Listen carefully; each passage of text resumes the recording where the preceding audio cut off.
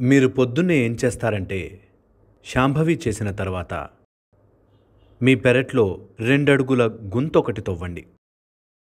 చీలమండల వరకు మీ పాదాలను అందులో పెట్టి దాన్ని మూసి అలా ముప్పై నలభై నిమిషాల పాటు కూర్చోండి. ఊరికే అలా కూర్చోండి. మీరలా చేస్తే కనీసం ఎలర్జీలు ఉన్నవారు మీ ఆరోగ్య విషయంలో మార్పుని గమనిస్తారు. ఎలర్జీ అంటే మీరు ఈ గ్రహం ఇష్టం లేదని చెప్పే విషయం. Allergy means somehow you don't like this planet. మీలోని అంశమేదో ఇక్కడున్న జీవాన్ని అంటే జీవాన్ని సృష్టించే పదార్థాన్ని ఇష్టపడడం లేదు.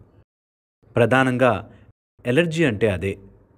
మీరు భూమి స్వభావంతో సమన్వయమైతే ఎలర్జీ మాయమవుతుంది.